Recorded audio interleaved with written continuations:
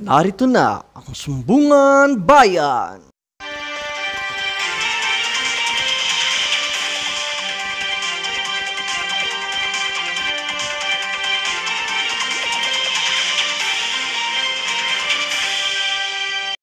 Magandang araw sa inyong lahat. Ngayong araw ay mayroon tayong kwentong tampok sa Sumbungan Bayan. Mag-comment lamang para sa inyong reaksyon.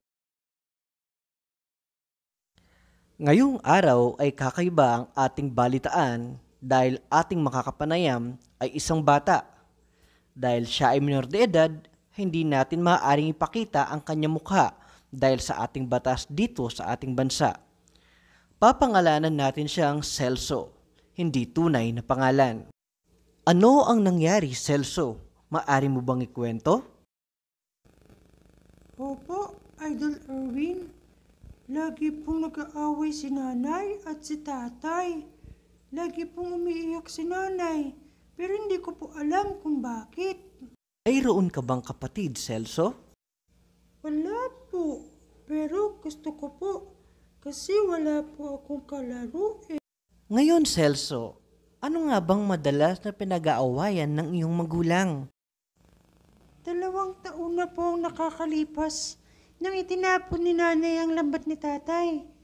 At nagalit po ng gusto si tatay sa ginawa ni nanay. Lagi pong ipinapaliwanag ni nanay na wala daw po siyang kasalanan. Okay, Celso, tawagin natin ang nanay mo. Ang nanay ni Celso si Isidra, hindi tunay na pangalan. Nakiusap na hindi pakita ang kanyang mukha. Ano po bang nangyari? Siya lang po ang mahal ko. Ipinaliwanag ko po sa kanya na wala akong kasalanan at dapat nakalimutan na ang nangyari na hindi sinasadyang pagkakamali. Dahil ang alam ko ay ikaw yun. O sige po, hindi po kasi maintindihan ng inyong anak ang pag-aaway nyo. Oo ba mayroon sa lambat, nay? Hindi mo maiintindihan anak. Kaya niyo ba ako pinadali maglakad at sinabing darating si tatay? Hindi mo mauunawaan anak. Siguro, Celso, may mga bagay na hindi pa mauunawaan ng mga bata dahil ito ay problema ng mga matatanda. May gusto ka pa bang sabihin, Celso? Pumunta po ako sa dalampasigan para hintayin si tatay. Pero bigla po akong napalingon dahil sa tugtog ng gitara mula sa bahay pawid na may awit na kasawian ng pag-ibig. Pumunta po ako malapit sa tumutugtog kahit ipinagbabawal ni tatay. Nang tatakbo na po sana ako, paalis, bigla pong hinawakan ng mama ang aking kamay at mahigpit na niyakap at sinabi po niya na dalawin ko raw po siya lagi. Bigla pong dumating si tatay at kinagalitan ako at nasampal. Ay, parang di naman tama yon. Tawagin natin ang tatay ni Celso. Tatay Tomas, bakit nyo naman ginawa kay Celso iyon? Ayaw makipanayam ni Tatay Tomas. Naguguluhan po ako kung bakit ayaw niyo akong papuntahin doon. Nakita mo ba ang mamang iyon, Celso? Parang nakita ko na po siya pero hindi ko po alam saan at kailan po. Celso, ano na ang ginagawa ng nanay mo niyan? Nakatingin po siya sa lambat at umiiyak na naman po. O pakalmahin mo muna ang nanay mo, Celso. Idol Erwin! Idol Erwin! Alala ko na po saan ko po nakita ang mama.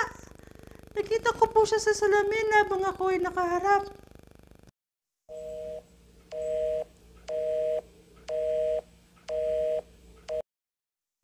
Nawala po sa linya si Celso. Balikan po natin si Celso pagkatapos ng ilang minuto.